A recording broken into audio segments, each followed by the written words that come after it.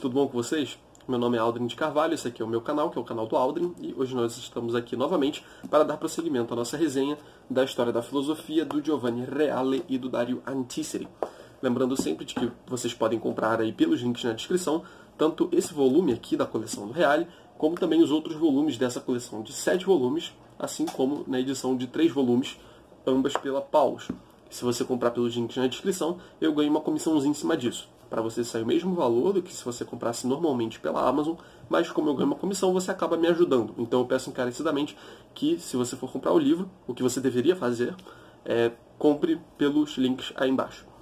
Mas, caso por algum motivo você não queira comprar os livros agora, que como eu já disse, eu acho que você deveria fazer isso, você também pode apoiar o canal de outras maneiras.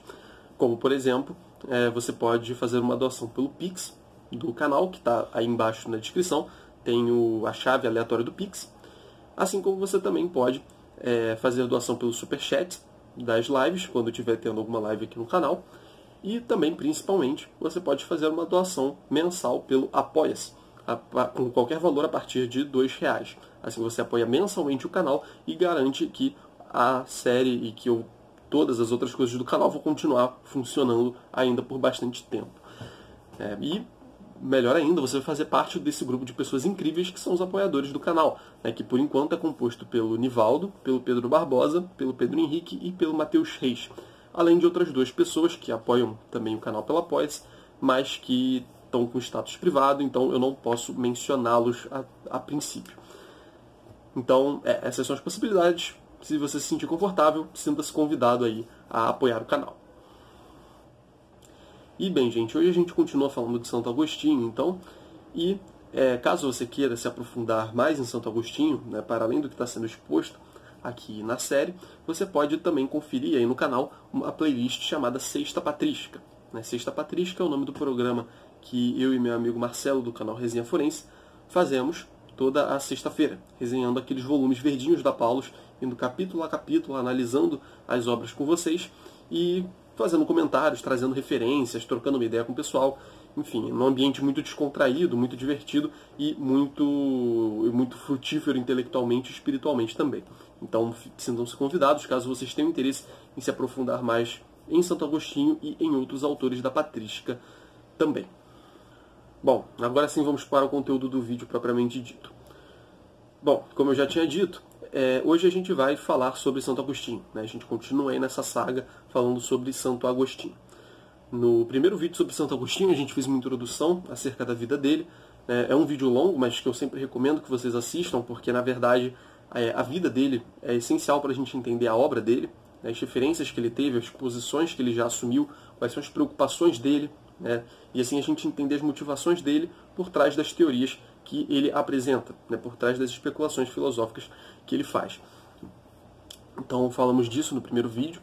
Depois disso nós falamos sobre a relação entre fé e razão em Santo Agostinho, que também constitui o cerne da filosofia dele, né, como a fé pode ser central na filosofia de Santo Agostinho, mas sem é, perder o espaço da razão, né, sem a razão perder o espaço dela. Além disso, nós também falamos da questão do conhecimento, né, de como o conhecimento se dá, é, a teoria da iluminação e tudo mais. Né, isso foi no último vídeo. Mas antes disso ainda teve o vídeo sobre a interioridade. Né, como Santo Agostinho ele, ele encontra Deus, encontra a verdade é, e centra a sua especulação dentro de si próprio. Né, ele olha para si mesmo enquanto pessoa e a partir disso ele chega a diversas conclusões e a partir disso que ele pensa os problemas da sua filosofia de maneira geral. E, como eu estava dizendo no último vídeo, a gente falou sobre o modo de conhecer a verdade segundo Santo Agostinho. Né? Quais são os processos, né? quais são as etapas do conhecimento e como isso se dá na alma humana. E, bom, tendo falado disso né, no último vídeo, de o que é a verdade, o Reale vai abrir esse capítulo de hoje, que é sobre Deus, falando sobre como existe uma relação muito próxima entre esse tema da verdade e o tema de Deus. Né? Deus que é exatamente a suma verdade. É, no último vídeo a gente viu Deus, aliás, a gente viu a verdade sendo associada às formas platônicas, né? então o dito mundo das ideias. Né? Cada ideia é, é uma verdade a qual o intelecto tende no momento do raciocínio, né? no ato do raciocínio. mas Deus é, ele se encontra ainda acima dessas ideias, no sentido de que é a fonte da verdade dessas ideias. E a gente vai falar um pouco disso hoje. A gente vai falar de outras coisas envolvendo Deus, mas o Real ele começa falando sobre Deus desse ponto de vista, né? fazendo uma relação com o que foi visto no capítulo anterior. Então, caso você não tenha visto o último vídeo, fica aí o convite, assista. Começa o Reale dizendo o seguinte: Alcançando a verdade, o homem também alcança Deus. Ou estará Deus ainda acima da verdade? Agostinho entende verdade em muitos significados. Quando entende em seu sentido mais forte, ou seja, como verdade suprema, ela coincide com Deus. Né? E ele cita Santo Agostinho aqui falando o seguinte: é, Compreende, portanto, ó alma, se puderes, que Deus é verdade. É, então, quando Santo Agostinho fala em verdade, é, ele até está falando em verdade com V maiúsculo aqui, né, ele usa esse termo em diversos significados. Ele, quando fala verdade, ora ele pode estar se referindo às formas suprassensíveis, né, às ideias, né, a esses critérios que Santo Agostinho busca né, para poder julgar as coisas sensíveis. Né. Eu falo tudo isso no espírito do último vídeo. Né. Melhor não, eu não vou repetir a explicação. Mas Santo Agostinho ele passa por aquele processo de, através de um olhar interior, tentar alcançar na alma é, um critério absoluto que transcende até a própria alma é, para julgar as coisas que estão fora da alma, né? E para julgar a própria alma também, mas para, real, para, julgar então tanto o próprio intelecto, tanto a própria pessoa, como julgar a realidade, as coisas, os objetos sensíveis. E aí nisso ele chega então a diversos critérios, né? Isso passa pelos valores estéticos, éticos, é, até as, as figuras da matemática, né? os, os objetos da matemática, da geometria e pelas formas platônicas né, que são exatamente os paradigmas segundo os quais as coisas do mundo são criadas. Né, e a partir deles que a gente pode é, conferir alguma inteligibilidade a esses objetos que tem na realidade. Então, verdade acaba tendo esse múltiplo sentido. Né? É, você pode se referir às, ora às ideias, ora aos valores é, estéticos que o Reale menciona no último vídeo, e, em última instância, também a Deus. Né? Até como ele fala aqui, num sentido mais próprio, a gente pode chamar Deus de verdade. Porque, bom, Deus é a verdade suprema. Como a gente viu no último vídeo, ele é como que a fonte de luz da qual emana toda a possibilidade do nosso conhecimento. Né? Então, é, Deus pode ser entendido como verdade suprema. Né? Então, quando a gente fala verdade no sentido mais forte possível, é de Deus que a gente está falando. Apesar das ideias elas serem também verdades.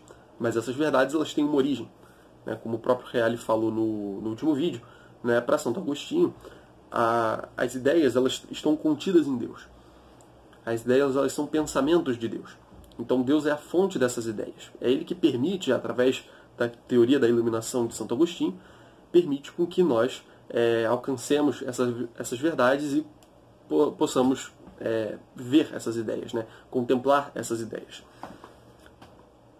Então, como Deus se identifica com verdade, com a verdade suprema, por conseguinte, a demonstração da existência da certeza e da verdade coincide com a demonstração da existência de Deus. Então, se para ele Deus é a verdade, quando a gente chega à conclusão de que há uma verdade, há um critério supremo do qual derivam todos os outros critérios, bom, então também nesse sentido a gente está demonstrando Deus, pelo menos de um certo aspecto né? não necessariamente o Deus da Bíblia, né? enfim.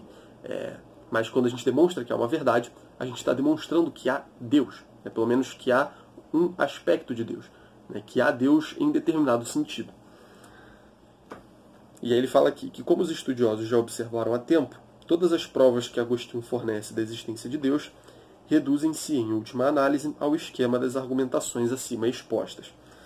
Né? Então, é, argumentações acima expostas no sentido do que a gente viu no último vídeo, né, que seria o seguinte aqui, né, e ele, ele replica essa estrutura geral das provas da existência de Deus de Santo Agostinho. Primeiro, passa-se da exterioridade das coisas para a interioridade do espírito humano. Depois da verdade que está presente no espírito, ao princípio de toda a verdade, que é precisamente Deus.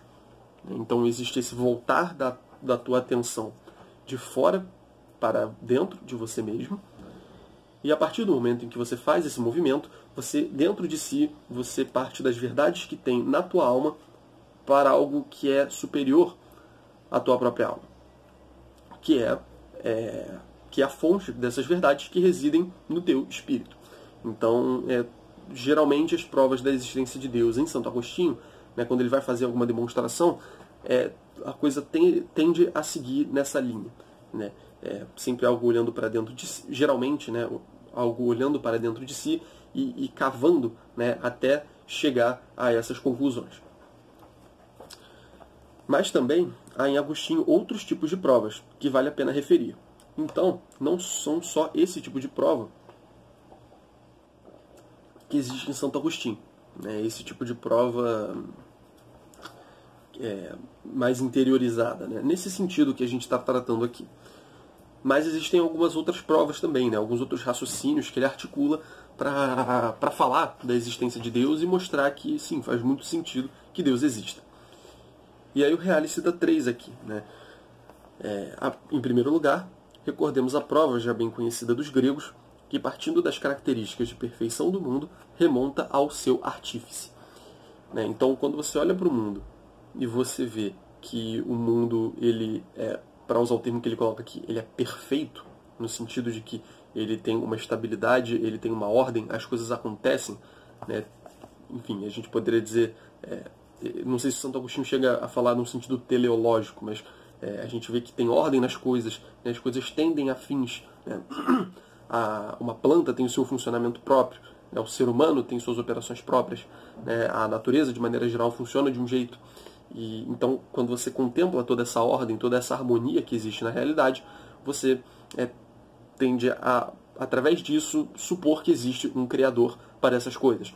Né? Uma inteligência, né? uma mente, a gente poderia dizer, uma alma, entre aspas, que organizou aquilo ali né? e que permitiu com que aquilo ali funcionasse. Né? A realidade ela parece muito planejada, digamos assim. Então a gente tende a olhar para a realidade e a pensar, olha, faz sentido que alguém tenha criado isso aqui. Né? Parece uma hipótese mais razoável do que o fato de que simplesmente não tem nenhum artífice. Então Santo Agostinho ele faz raciocínios nessa linha também. E como ele falou aqui, né, já é uma linha de raciocínio já bem conhecida dos gregos. A gente já falou aqui outras vezes. Né, nos padres apologistas, a gente viu argumentos desse tipo.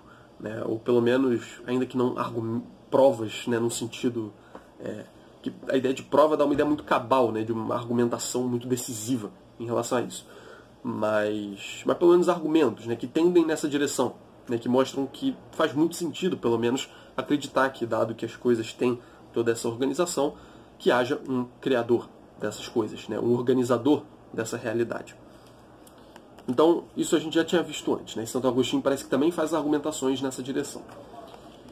E aí uma segunda prova, que o Hell menciona aqui, é conhecida como o nome de é conhecida com o nome de consensus gentium, né, que acho que seria um consenso das gentes, né, um consenso dos povos, também já presente nos pensadores da antiguidade pagã. É, que aí seria basicamente isso, né? Toda espécie humana confessa que Deus é criador do mundo. Né? Então, quando você olha para a universalidade do fenômeno religioso, você, bom, é, é aquilo, né? Tá todo mundo falando uma coisa provavelmente é verdade. Né? Não quer dizer que seja. Né? Eu não sei se Santo Agostinho coloca em termos de certeza, mas eu acredito que não. É, não enfim, não é porque todo mundo acredita em algo que é verdade, obviamente não é disso que se trata. Mas quando você vê que, tá, que todo mundo, de povos muito distintos, de origens muito distintas, pensam um certo aspecto da vida de uma maneira semelhante, provavelmente tem alguma verdade ali. Né?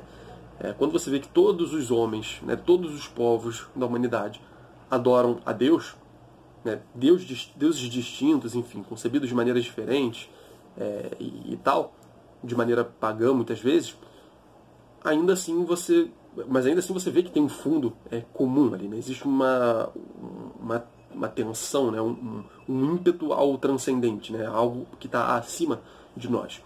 E esse algo que está acima de nós é mais ou menos o que a gente chama Deus. Né? Então, quando você vê que toda a espécie humana parece que tem essa tendência à divindade, ao absoluto, é, a ideia de Deus fica muito mais razoável. Né? Não é como se uma pessoa que acredita, Deus, que acredita em Deus estivesse falando de algo muito diferente. do que as outras pessoas já tinham dito antes. É claro que o cristianismo tem as suas particularidades, tem as suas novidades, tem as suas inovações, né, a gente poderia dizer, é, que inclusive gerou muita treta no ambiente grego, a gente já falou disso no, nos vídeos dos padres apologistas, principalmente. Mas, bom, a ideia de Deus não é algo inovador né, por si só. Então, parece fazer sentido acreditar em Deus, já que todo mundo acredita em Deus, povos tão distintos que tiveram pouco contato, a princípio não tiveram influência um sobre o outro, né? aparentemente, esse é um argumento que faz sentido. E a terceira prova é extraída dos diversos graus do bem, a partir dos quais se remonta ao primeiro e supremo bem, que é Deus. Então, a partir do momento em que a gente vê na realidade que existem graus de coisas boas, né, que existem coisas melhores e coisas piores, né, coisas que são superiores em termos de, de o quão são desejáveis, de o quão são belas, enfim. Quando a gente vê que há coisas que são superiores e inferiores, a gente precisa conceber algo que seja que, que esteja no cume né, dessa hierarquia. Né, Santo Tomás, no futuro, né, já 700, 700 é pouco, 800 anos depois, quase mil anos depois, vai dizer que vai chamar atenção para o fato de que quando a gente é, faz uma hierarquia né, em termos de graus, né, a gente diz que algo é mais belo, por exemplo, do que outra coisa, que é menos bela do que aquela, a gente acaba precisando conceber um princípio supremo, é, um, algo que esteja no cume dessa hierarquia, em relação ao qual todas as coisas podem ser medidas. Né? É necessário que exista um critério máximo em relação ao a qual as coisas podem é, se aproximar em graus distintos. Né? Então, quando ele fala aqui é, os graus do bem, né, Santo Agostinho, eu acredito que ele fale nesse sentido mais ou menos com que o Tomás fala. Eu acredito que Tomás até tire isso de Santo Agostinho numa certa medida.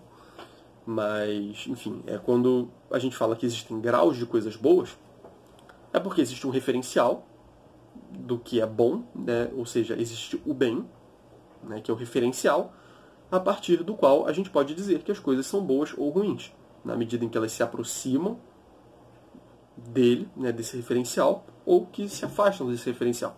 Se elas se aproximam desse referencial, elas são cada vez mais boas e na medida em que se afastam desse referencial, elas são cada vez mais, elas são cada vez mais ruins.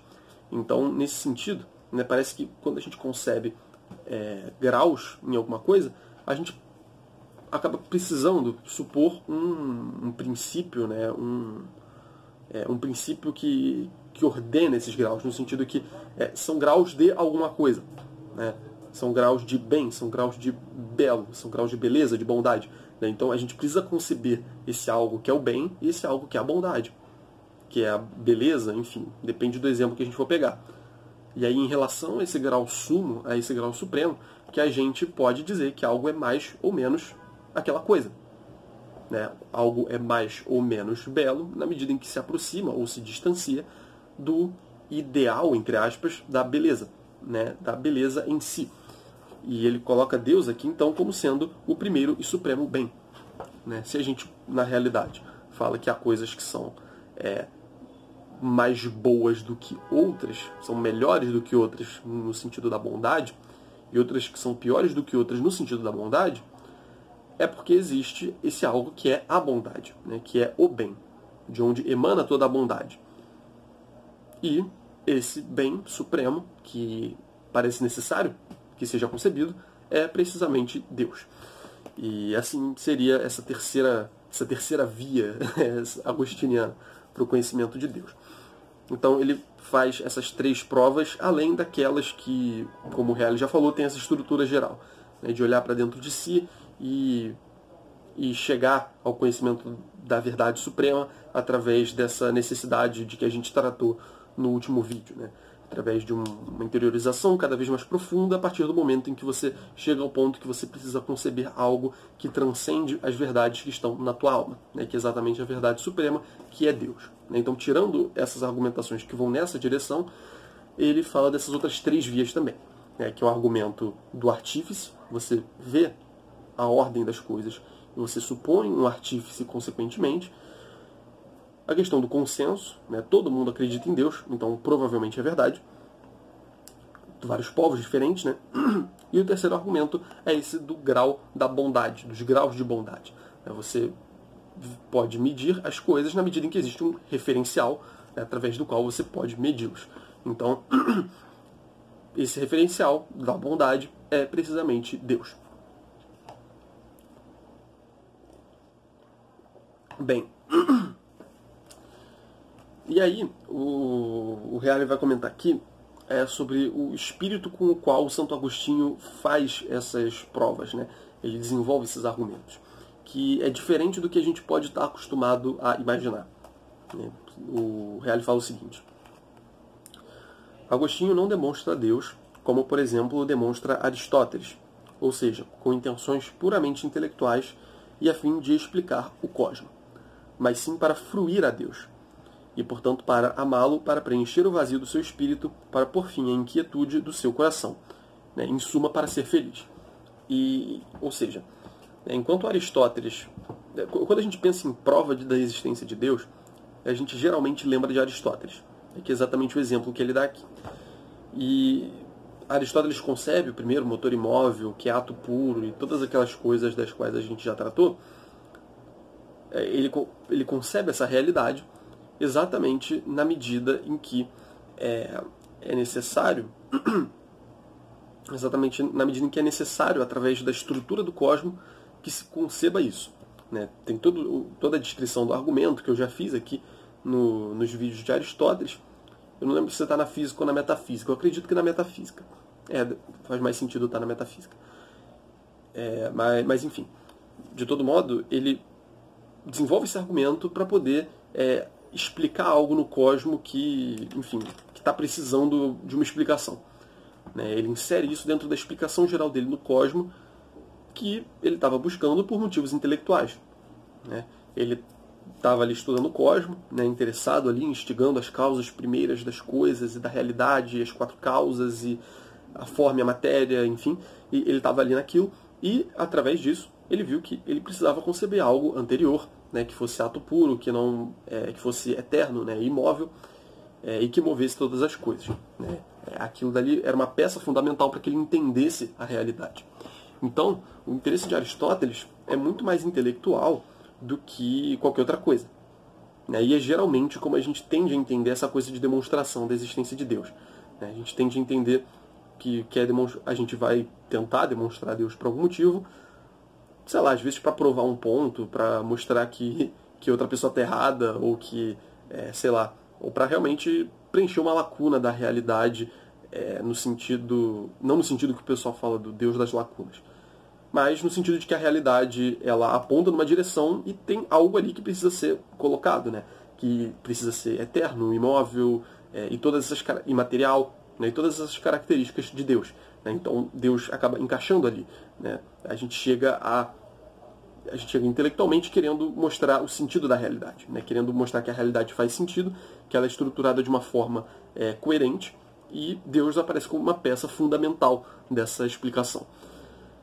Mas Santo Agostinho ele vai trabalhar isso em outra direção. Né? Ele não vai falar, num, ele não tem interesse puramente intelectual na realidade. É claro que ele tem interesse intelectual nas coisas, né? tanto que tudo isso que a gente está falando aqui, é, que a gente anda falando aqui sobre Santo Agostinho, não seria desenvolvido por alguém que tem é, meramente interesse espiritual. Não que interesse espiritual seja menos, mas assim, é, ele claramente tem interesse intelectual nas coisas. Mas prevalece, como a gente anda dizendo, né, o aspecto da fé, muitas vezes. Né? Então, ele, a, a vontade dele de, de chegar a Deus tem muito mais a ver com, como ele fala aqui, né? Fruir a Deus, amar a Deus, preencher o vazio do seu próprio espírito, para pôr fim à inquietude do seu coração e para poder ser feliz. Né? Então ele está buscando Deus, é, não querendo entender como as coisas funcionam. Né? Vocês veem aqui que, essa, que esses argumentos dele, não nenhum cai exatamente numa. É, talvez o terceiro caia num, num numa, numa necessidade, né, de não, a gente precisa conceber Deus aqui. Mas parece que ele está tendendo, ele está fazendo um movimento um pouco mais modesto do ponto de vista intelectual. É, parece que ele realmente está tá buscando algo é, para ele, digamos assim. Ele não está muito preocupado em provas absolutas, intelectuais. É, dá para ver que a preocupação dele é outra. Né? Pela própria, pelas próprias é, provas que ele dá, né? pelos próprios argumentos que ele dá. Então ele faz essa busca, né? ele busca é, o conhecimento de Deus, né? ele busca esses argumentos para os quais Deus existe, né? que sustentam essa ideia, mas por motivos espirituais, né? mas por motivos é, de felicidade, né? de preencher esse vazio que o homem tem dentro dele, né? que segundo o próprio Santo Agostinho, inclusive, é um vazio do tamanho de Deus. E essa questão da felicidade tem muito a ver com isso, então, né? E aí ele vai falar que ele vai fazer uma comparação com Plotino, né? puxando esse tema da, da felicidade, né? de buscar a Deus pela felicidade. Ele vai falar aqui que, contrariamente ao que pensava Plotino, só a verdadeira felicidade na outra vida, não sendo possível nesta. É, todavia, mesmo nesta terra, podemos ter uma pálida imagem daquela felicidade. Então a gente lembra aqui que Plotino, né, o Porfírio relata lá na, no Vida de Plotino, que o, que o Plotino ele se não me engano, acho que duas vezes na vida dele ele teve uma, uma experiência é, mística mais, mais profunda, mais, mais excelente com o Uno. Né? Que todo objetivo é, da sese dele é isso. Né? A gente já falou disso aqui outras vezes. É, é, uma, é uma simplificação, né? é uma assimilação cada vez maior a esse princípio de unidade, e uma vez que se alcança isso, você tem uma experiência mística. E Plotino alcançou isso duas vezes na vida dele, mas alcançou. Esse é o ponto. É possível alcançar o Uno totalmente nesta vida. É, mas Santo Agostinho vai discordar disso. Né? Vai dizer que só há verdadeira felicidade na outra vida, né? seguindo o espírito cristão. Mas, de todo modo, nessa vida, é, ainda faz sentido a gente buscar a felicidade, porque a gente consegue experimentar é, imagens dessa felicidade. Né? A gente consegue experimentar partes, é, migalhas dessa felicidade. Né? Não migalhas no sentido pejorativo, mas no sentido de que é menos mesmo. Né? É, considerando a, a, felicidade infinita que virá na outra vida depois da morte, é, essa vida aqui realmente não, é, nesse sentido, não, não pode ser comparada. Né? A felicidade dessa vida não pode ser tão comparada à outra. Mas ainda assim, existe algo da felicidade da outra vida que a gente pode experimentar nessa vida.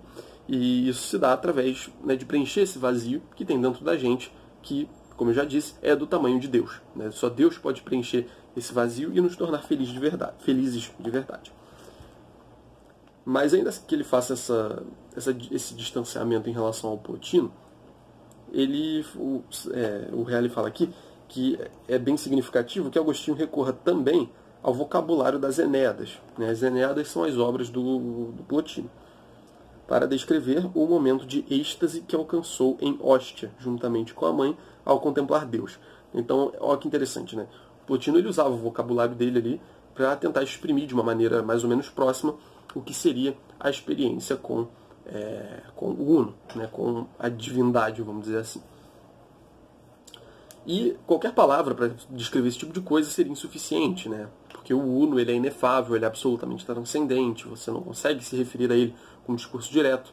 Né? Qualquer coisa que você disser acerca dele é, acaba pressupondo uma, uma imperfeição. Né? Enfim, a gente já trabalhou essa ideia lá no vídeo do Plotino, volte para dar uma olhada. Eu sempre falo aqui que eu acho que é um dos vídeos mais bem feitos do canal. É, a imagem está meio zoada, mas vários vídeos aqui estão com a imagem zoada. Então, enfim, acho que em termos de conteúdo, acho que ficou muito legal. É, bom, de todo modo, Mosquito safado.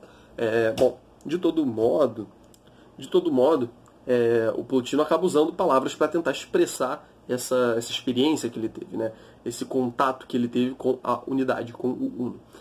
E, segundo Helle aqui, nas confissões, o Santo Agostinho ele usa um vocabulário muito parecido para se referir precisamente à experiência que ele teve com Deus.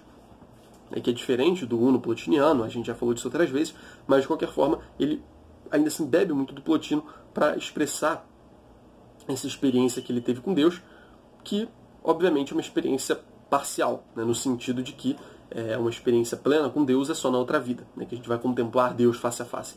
Então, é, não, então, por mais que ele use esse vocabulário do Plotino, a concepção dele, né, a posição que essa experiência ocupa dentro da, do pensamento, né, dentro da cosmovisão de cada um deles, é diferente. Né? Para Plotino, aquilo ali representava ah, realmente o ápice, assim, a totalidade do que pode ser feito, do que pode ser atingido pelo homem. Mas Santo Agostinho vai dizer que não. Né? Na verdade, aquilo ali é, um, é, uma, é uma, uma degustação né, do que virá na vida seguinte, né, na vida que vem. Então, quando ele tá, é, quando ele tem essa experiência com Deus, né, Santo Agostinho usa esses termos das Enéadas. E, e aí é claro, né, é, obviamente que isso vem, como eu falei, carregado de uma, todo um conjunto de outros, de novos significados. É, quando, quando a gente fala do Deus cristão, a gente não está falando do Uno de Plotino. É, quando a gente está falando de uma sese cristã, a gente não está falando de uma sese neoplatônica. Tem, tem as suas semelhanças, evidentemente, né? Ele fala aqui de um esvaziamento metafísico de toda a dimensão física e despojamento de toda a alteridade. É, feitos de modo plotiniano. Né? Então ele até deixa explícito aqui que é muito parecido. Só que tem as suas particularidades. Né? A espiritualidade cristã é, tem talvez não, não tenha uma rejeição do corpo tão grande, né? como a gente já acenou outras vezes aqui. E outros aspectos também. Né? É, o objetivo final é outro. Então, bom, de todo modo, tem essas coisas parecidas. E aí o Reale cita o trecho de Santo Agostinho e que isso acontece. Não é um trecho meio grande, mas eu vou ler aqui só para vocês terem uma ideia. Mas o que amo amando-te?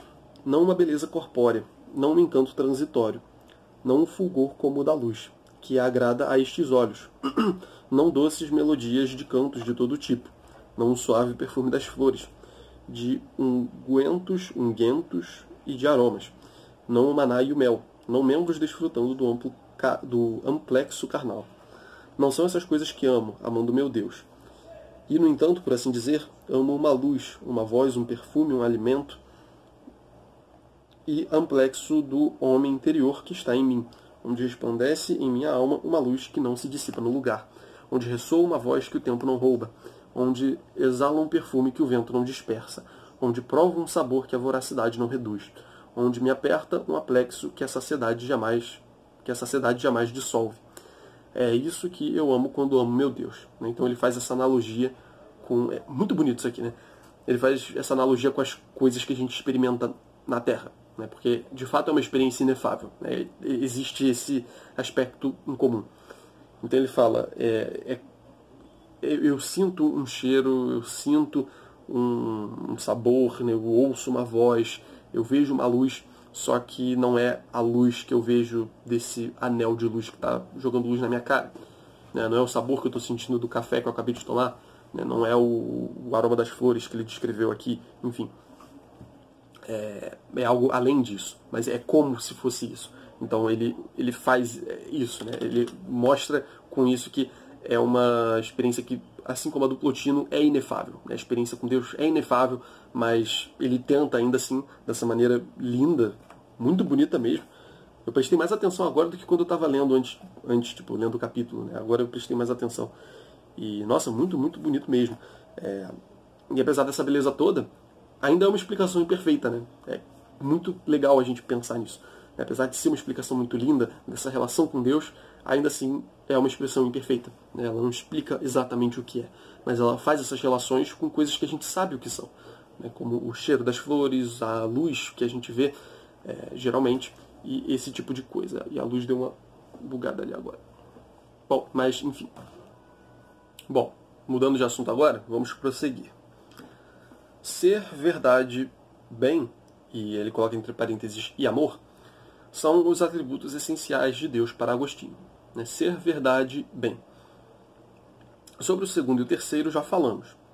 Sobre o primeiro, né, o ser, Agostinho se exprime com clareza, unindo a ontologia grega com a revelação bíblica.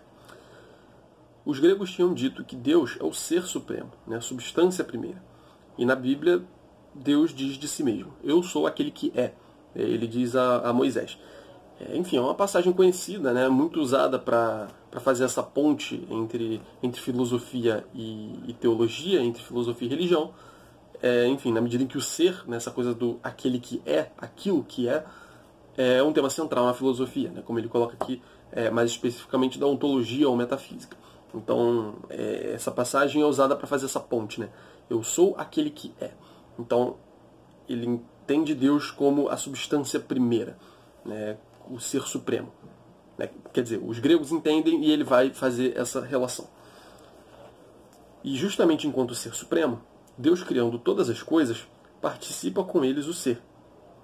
Mas não um ser sumo, como ele é, e sim um ser com diferentes graus em escala hierárquica. Então, Deus compartilha o seu ser com as coisas que são, né? ele confere o ser às coisas, como a gente já mencionou antes, algumas outras vezes, para falar da questão da, verdade, da iluminação, né? que Deus dá o ser e também dá a iluminação, né? dá a capacidade de atingir a verdade. Enfim. Mas Deus dá o ser às coisas, então, ele as cria, as tira do nada, mas não dá o ser sumo, né? ele não dá o ser, digamos assim, completo, o ser integral, o ser é, considerado em si mesmo. Mas as coisas participam desse ser, né? elas têm parte nesse ser, elas são, elas existem em graus. É, elas não têm cada uma em si o ser completo. Cada uma delas não é o ser completo. Senão haveria mais de um Deus. Né? E isso é contraditório por zilhões de razões. Mas de que a gente talvez já tenha falado aqui algumas vezes. Mas, enfim, de todo modo, é, então as coisas que são, né, as coisas a que Deus confere o ser, não são Deus. Né? São, não são deuses. São coisas. São coisas que são, mas não são como Deus é. É isso que é importante de ficar claro. As coisas que são, as coisas que existem, elas não são, elas não existem como Deus é, como Deus existe. É, Deus confere esse ser parcialmente a essas coisas em graus diversos. Tá? Então há coisas que são mais, né, que existem mais, por assim dizer, e tem coisas que existem, né, que são menos, que possuem menos é, subsistência. E, enfim, é, isso aí lembra o Plotino também, né? a questão da unidade, e a partir da unidade as coisas vão sendo menos unas. Né? E elas existem, elas são e subsistem enquanto tais na medida em que elas têm a unidade. Mas nenhuma delas é, nenhuma delas em si é a unidade. Né? Todas elas são unas. E são unas na medida em que participam do uno em si, né? da unidade suprema, etc, etc, da qual deriva todo o cosmos. Enfim, tem vídeo do Plotino explicando isso também. Apesar de todas essas precisações, permanece claro para Agostinho que é impossível para o homem uma definição da natureza de Deus. E que, em certo sentido, Deus, Deus shitur melius nesciendo, pois é mais fácil saber aquilo que ele não é do que aquilo que ele é. Então, vamos lá apesar dele fazer essas, essas aproximações com os conceitos da filosofia, principalmente com essa noção de ser e de substância, que, enfim, estão intimamente relacionadas, ele reconhece que é impossível para o homem uma definição da natureza de Deus. O homem não pode, é, ele não consegue achar uma definição da natureza de Deus, uma definição. Ele não consegue definir Deus. Que é um tema que já foi tratado aqui algumas outras vezes e que, em certo sentido, Deus melius nescendo. Né? Deus é, é conhecido melhor, de maneira melhor não conhecendo. Né? Então você conhece Deus melhor, né, de uma maneira mais. Você conhece mais Deus não conhecendo. Através do seu não conhecimento de Deus você o conhece. Pois é mais fácil saber aquilo que ele não é do que aquilo que ele é. Quando se trata de Deus, o pensamento é mais verdadeiro do que a palavra e a realidade de Deus mais verdadeira do que o pensamento. Então, olha isso que legal, né? Ele reconhece, ele reconhecendo aí um limite do, do conhecimento humano diante de Deus, pelo menos, e reconhecendo um limite ainda maior para a expressão humana, as palavras humanas, né? Para o dizer humano. Porque, bom, a realidade de Deus é uma, o pensamento que a gente tem de Deus é outro mais imperfeito do que a realidade de Deus, nem inferior à realidade de Deus. E a forma com que a gente expressa isso ainda é uma forma é, inferior dessa forma com que a gente pensa Deus na nossa cabeça. Então, Deus é, no sentido sumo, né? a imagem que a gente tem de Deus é algo inferior a, ao Deus mesmo, e as palavras que a gente usa para exprimir Deus, né? o nosso discurso acerca de Deus, ele é inferior até a essa a forma com que a gente pensa ele, né? que por si só já é inferior.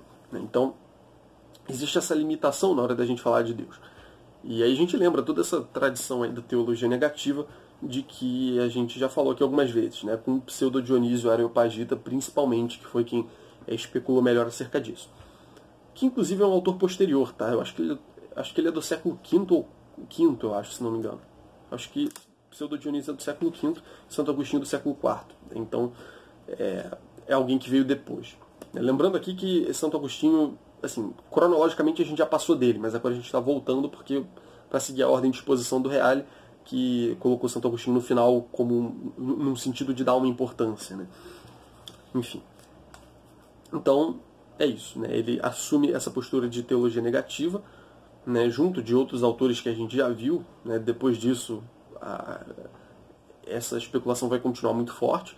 Né? São, São Tomás de Aquino é, fala disso também. E, bom, então a gente conhece mais o que Deus não é do que o que Deus é. Né? Deus ele transcende todo o limite. Toda definição que a gente poderia dar a Deus seria uma redução completa da sua natureza, né? É, da sua natureza de fato, do que ele realmente é. Então não existe muito bem essa coisa de definir Deus. Apesar de que a gente pode usar as palavras, os pensamentos, para se aproximar dele numa certa medida. Né? Mas é sempre com um pé atrás, do tipo, não, calma aí, Deus é tipo isso aqui, mas Deus é muito maior do que isso, na verdade. É, quando eu digo que Deus é substância primeira, por exemplo, é, isso é uma forma imperfeita de se referir a essa generalidade, né? a, essa, a, a essa absolutidão, absolutidade, a, essa, a esse absoluto que é Deus. Então, existe esse limite na linguagem e no pensamento humano para se referir a Deus o que também tem muito a ver com é, tem muito a ver com Plotino. Né? Como eu falei antes, se o Plotino, é, quando o Plotino fala que é, não se pode falar nada do Uno, é precisamente porque a natureza do Uno é algo absolutamente transcendente e una. Né? Portanto, você não pode acrescentar nada a ela. Isso seria, isso seria um tipo de quebra dessa unidade. Então, se eu falo que o Uno é belo, por exemplo, eu já estou fazendo uma distinção interna nele né, que ele tem essa natureza una, mas ele teria algo a mais que é o belo. Mas isso é impossível, na verdade, porque isso aí já seria quebrar a própria unidade do, do ser é, do uno. Então, novamente, voltem ao vídeo do Plotino para ver esse raciocínio com mais detalhes.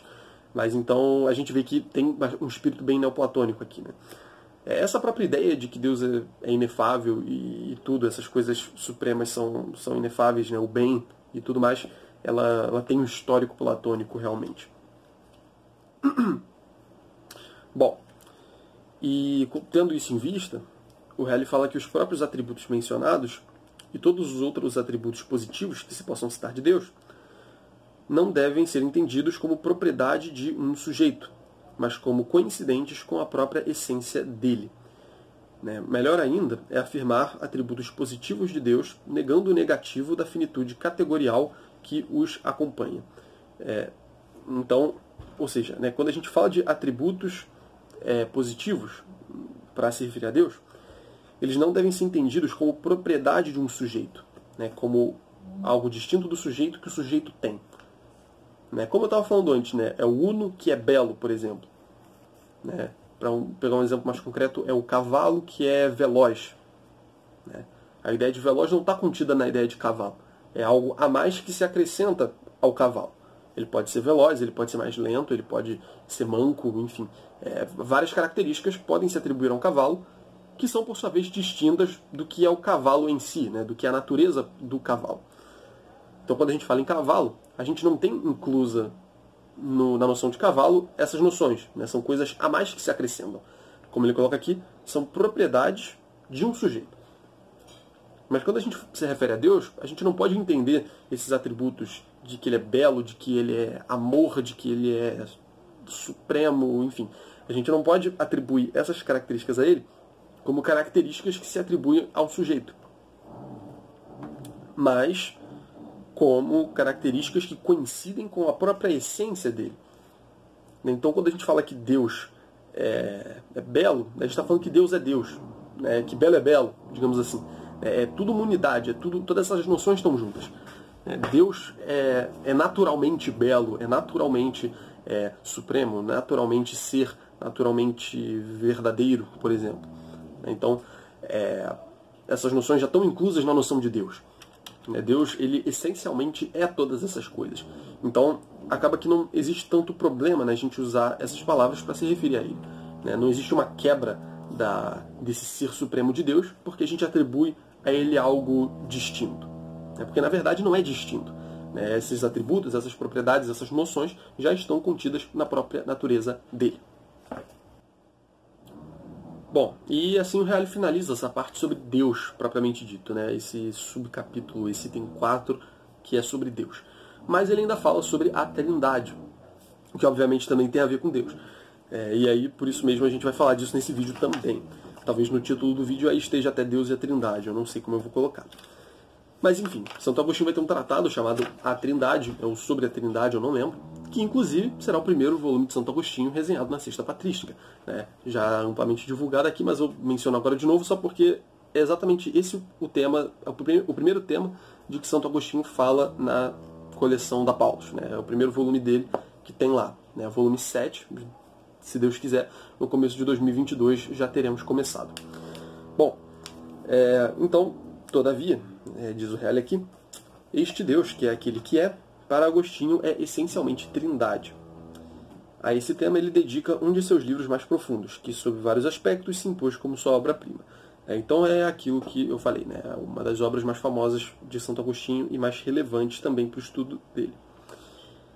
E aí devemos salientar com isso três núcleos particularmente importantes dessa obra. E aí ele fala aqui de três pontos importantes. É, primeiro, no que diz respeito à identidade das das três é, pessoas divinas, né? Então, em que sentido que o Pai, o Filho e o Espírito Santo são um? Né? Primeiro vai falar dessa identidade, depois da diferenciação, né? em que sentido essas três coisas são diferentes, né? o Pai, o Filho e o Espírito Santo. E depois ele vai falar é, das analogias que a gente pode fazer entre a Trindade e o mundo concreto. É, de que eu já falei um pouquinho antes também. Né? Eu já, quando a gente estava falando do, da pessoa humana, a gente falou que Santo Agostinho ele olha para o ser humano e percebe nele reflexos dessa trindade, é, dessa trindade suprema. Né? Ele percebe microtrindades, né? ele, ele percebe tríades na, na, na, constituição humana, na alma humana, que são reflexos, por sua vez, por suas vezes, por sua, por sua vez mesmo, é, dessa trindade suprema, né? da trindade propriamente dita. E aí ele vai falar aqui disso é, relacionado não necessariamente com o homem agora, mas com a realidade também. Né? Ele percebe isso não apenas no homem, mas na realidade. Mas enfim, antes da gente chegar nesse ponto, vamos falar sobre o que é a trindade então. Né? Em que sentido Deus é um e em que sentido Deus é três. Bom, o conceito básico sobre o qual ele alicerça sua interpretação é identidade substancial das três pessoas. Os gregos, precisa Agostinho, para exprimir conceitualmente a trindade, falaram de uma essência e três substâncias. Ao passo que os latinos, porém, falaram de uma essência ou substância e três pessoas. É, então, é, eles é, tem, tinha basicamente essas três formulações, essas duas formulações, né? É, uma essência e três substâncias e uma essência ou substância e três pessoas. É, e essa ambiguidade se dá porque substância e essência, né, como estão muito associadas a essa coisa do ser, daquilo que é, é muitas vezes tem um significado muito parecido. Né? Ainda mais quando a gente está comparando o mundo grego ao mundo latino, né? que aí tem esse problema de tradução no meio, que aí fica, é, enfim, tem uma certa ambiguidade quando a gente vê de fora. É, porém, olha, isso acontece porque para os latinos essência e substância são considerados sinônimos. É, todavia, mesmo com essa diferença terminológica, uns e outros pretenderam dizer a mesma coisa. Então, ah, chamar cada um de essência e cada um de substância dá no mesmo, é, ou de pessoa. Mas chamar a unidade que eles têm de uma unidade essencial ou uma unidade substancial, isso também dá no mesmo. Né? O que importa é a gente tentar olhar para as palavras e transcender as palavras e alcançar o que, que eles estavam vendo ali, né? qual é a realidade a qual eles estavam se referindo. Como a gente deve fazer sempre com qualquer coisa que a gente está estudando. Isto implica que Pai, Filho e Espírito Santo tenham justamente uma substancial igualdade e não sejam hierarquicamente distinguíveis. Então, eles possuem, é, eles são iguais, né, substancialmente, essencialmente, e não são hierarquicamente distintos. Né? Não existe o Pai que está acima do Filho que está acima do Espírito Santo. Como se poderia fazer e como se tentou fazer muitas vezes. Né, se fosse esse o caso, né, Deus como é aquilo que é supremo, só o Pai seria só o pai seria Deus, né? porque os outros seriam abaixo de, do pai. Então não haveria é, sentido em chamar as outras duas pessoas da Trindade de Deus, né? já que Deus é aquilo que é sumo, que é absoluto, que está para cima, né? que causa as outras coisas e que, enfim, tudo isso que a gente falou agora, né? a verdade suprema, de onde emanam todas as coisas. É, então, é, é, necessário, dentro do cristianismo, eliminar essa hierarquia no sentido da, da natureza, né? da, da substância das coisas. Deus, portanto, em, si, em sentido absoluto, é tanto o Pai, como o Filho, como o Espírito Santo. Eles são inseparáveis no ser e operam inseparavelmente. Então, é, eles, no momento de agir no mundo, eles agem simultaneamente. E, num ato de um deles está implicado o ato dos três. É, eles operam de maneira inseparável e são inseparáveis no ser. Então eles possuem a mesma natureza. Eles são todos Deus. Eles são essencialmente Deus. Da mesma maneira, nenhum mais, nenhum menos do que outro. Portanto, não havendo diferença ontológica, hierárquica, nem diferença de funções, a igualdade absoluta das três pessoas implica que, que a Trindade seja o único verdadeiro Deus. Então, todos são Deus em conjunto, que cada um é Deus individualmente. Bom, essa é a reflexão dele acerca da unidade, né? acerca da identidade entre as pessoas, é, nesse sentido da natureza ser a mesma, da substância ser a mesma, ou enfim, é, qualquer terminologia que você preferir usar. Mas então, se elas têm essa unidade de essência, em que sentido que elas se distinguem? Né? Se todas compartilham da mesma substância, vamos dizer assim, em que sentido elas se diferem? Agostinho realiza a distinção entre as pessoas com base no conceito de relação. Isto significa que, para Agostinho, cada uma das três pessoas é distinta das outras, mas não ontologicamente diversa. É nesse sentido que a gente falou agora. Então, é, aí ele fala aqui, é, o pai ele tem o filho, mas não é o filho. O filho tem o Espírito Santo, tem o pai, mas não é o pai. E o mesmo se diga do Espírito Santo. Né? Então ele usa, é, vamos dizer assim, são substâncias distintas, né, essencialmente unidas, né, e que se distinguem por é, acidente. Né? Como a gente não pode admitir uma distinção de, de substância, né, ele coloca a distinção no plano do acidente. É, enfim, a gente vai precisar isso melhor daqui a pouco. Mas percebam que ele usa o termo ter, né, e não o termo ser. É, o pai não é o filho. O filho não é o pai. O pai não é o Espírito Santo. O filho não é o Espírito Santo. É, então não existe uma identidade. Assim, elas são distintas entre si, mas são reunidas nessa essência Deus. E essa relação de diferença entre eles se dá na relação de, é, de ter. Né? O pai tem o filho, o, o, filho tem o pai, mas não é o pai, e eles têm o Espírito Santo. Então a relação é, é recíproca desse ponto de vista do ter. É, tais atributos, portanto, não pertencem, não pertencem à dimensão do ser e da substância, e sim justamente da relação. Né? Então a gente consegue ver aí um fundo de é, uma contraposição substância-acidente. Né? Substancialmente os mesmos, acidentalmente distintos. Né? As pessoas da Trindade. Mas nem por isso, nem por isso se reduzem ao nível de meros acidentes. Né?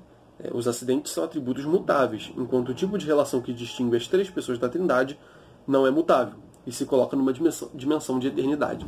Então, é, vejam bem, né? não é para sair dizendo que Deus tem acidentes, né? o que seria certamente uma limitação dele, seria uma, é, um aspecto mutável dele, diferente, né? algo que, é, digamos assim, impuro, né? é algo que sobra, é algo que teria a mais em Deus, é, para além do devido.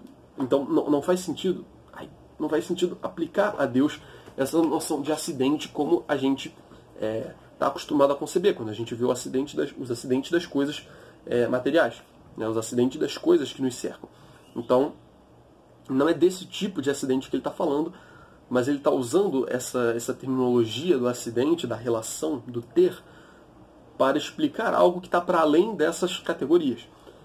Porque Deus é eterno, porque Deus é fonte né, dessas categorias, é fonte do conhecimento, do ser, da verdade, da unidade. Então, é, a gente usa as categorias, as imagens, as coisas que a gente vê nesse mundo, como a relação, como as relações entre as coisas, para se referir a Deus é, novamente de uma maneira imperfeita, né, de uma maneira que é, não exprime exatamente é, como é, dado que, como ele já falou, né, Deus shitur melius né, se conhece melhor Deus, Deus é conhecido de maneira melhor quando não se conhece, né, através do não conhecer.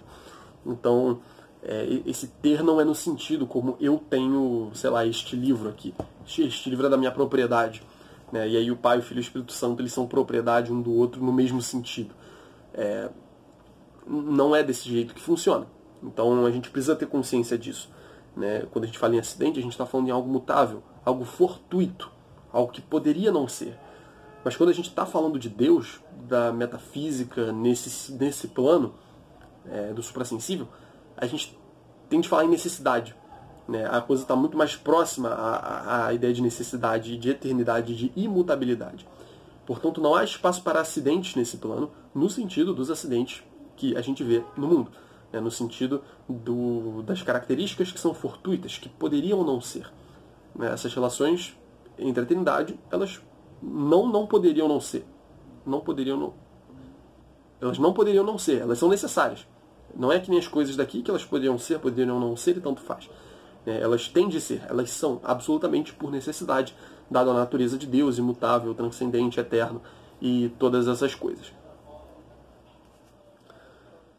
Bom, então sobre a distinção né, entre as pessoas, é basicamente isso que ele fala aqui. E um terceiro ponto é, fundamental da doutrina trinitária agostiniana consiste nas analogias triádicas que ele descobre no criado, as quais, de simples vestígios da trindade nas coisas e no homem exterior, tornam-se na alma humana verdadeiras, verdadeira imagem da própria trindade, como nós já vimos. Então, é, ele vê, na realidade, essa série de tríades, é, principalmente na alma humana, como a gente já comentou, e ele vê é, nessas tríades que se encontram na realidade precisamente imagens, né, precisamente é, resquícios, pegadas, é, vestígios da trindade que criou o homem no homem. Né? É como talvez como uma, uma assinatura, né? uma, uma marca de autoria né? que a trindade deixou em todas as coisas. Entre as muitas analogias, recordemos duas. Ele vai citar duas mais importantes. Todas as coisas criadas apresentam unidade, forma e ordem, tanto as coisas corpóreas como as almas incorpóreas.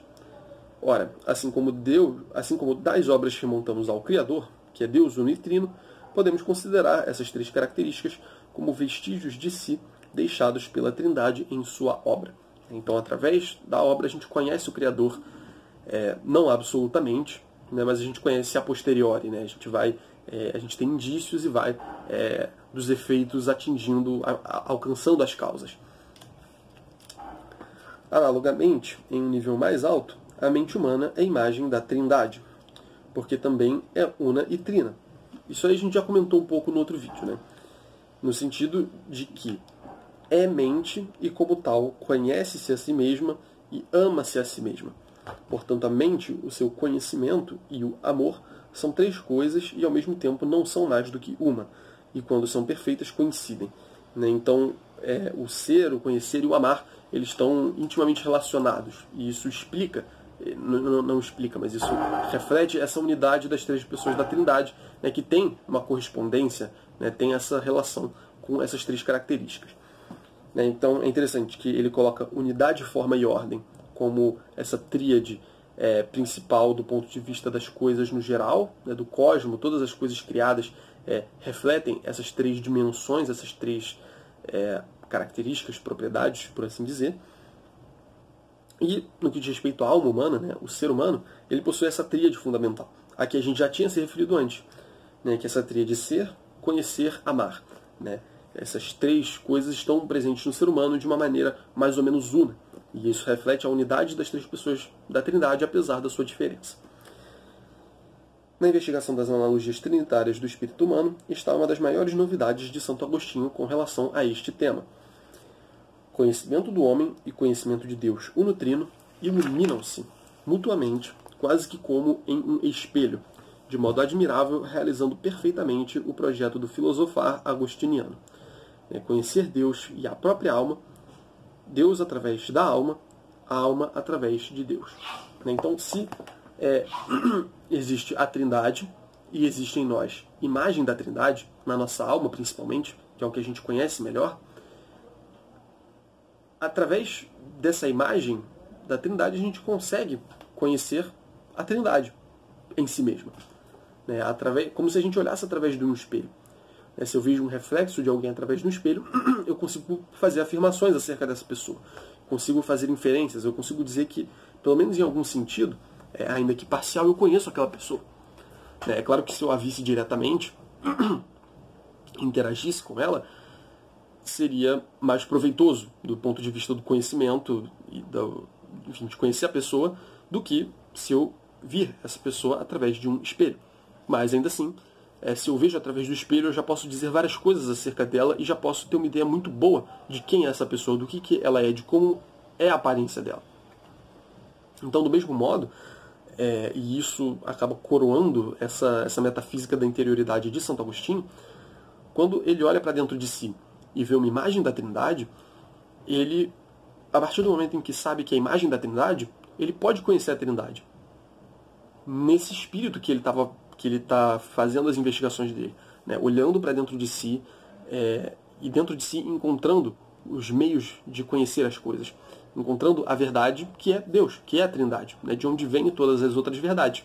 Então, ele vendo a Trindade em si, ele conhece Deus. Né? Ele não precisa olhar para as coisas externas, como ele fala. A gente já leu um trecho dele há uns capítulos atrás, né? Ele falando que ah, as pessoas ficam perdendo tempo, né?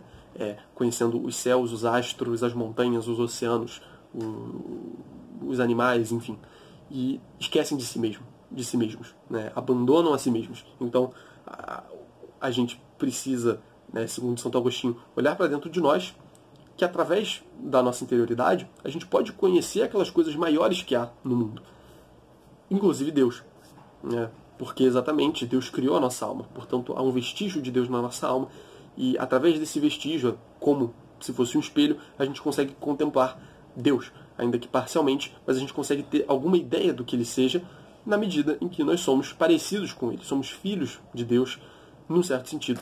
Então, isso acaba reunindo né, todas essas reflexões acerca da interioridade que ele coloca e dando um fundamento muito, muito racional, vamos dizer assim, muito, muito coeso para essa postura da interioridade. Né, que, como eu já falei várias vezes, não tem nada a ver com subjetivismo, mas tem a ver com você olhar para você, entrar dentro de si e ver que é, esse isso que tem dentro de você aponta para algo maior que te fez né, e que projetou a sua natureza sobre você. Né? Então, que, que é precisamente Deus. Então, através de você, você conhece Deus e através de Deus você acaba conhecendo você, porque você é imagem dele. Né? No sentido da imagem e semelhança também, que, que a gente já está acostumado a ouvir. Então, se nós somos imagem de Deus, nós conhecer, conseguimos conhecer tanto a Deus através de nós mesmos, quanto a nós mesmos através de Deus.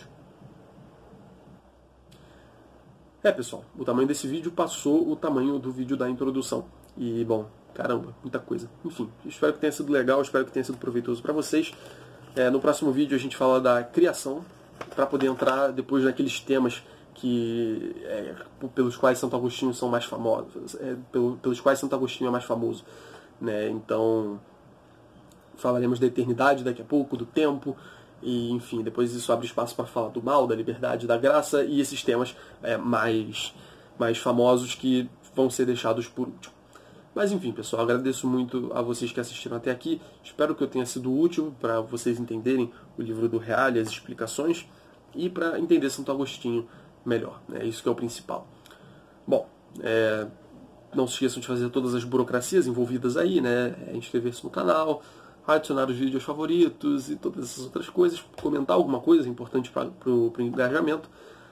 E é basicamente isso. Aí divulguem o vídeo para que vocês acharem que possa se interessar e apoie o canal financeiramente aí na plataforma que você se sentir mais confortável a apoiar.